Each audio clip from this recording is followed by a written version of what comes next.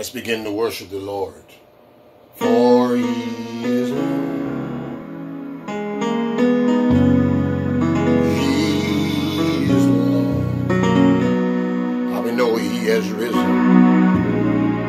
He has risen from the dead and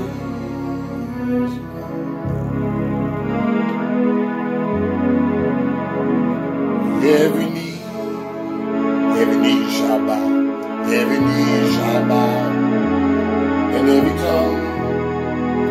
shall confess. For he is Lord.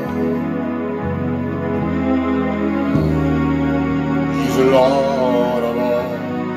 Jesus Christ is Lord, Yahshua, and he is Lord. He's the King of Kings.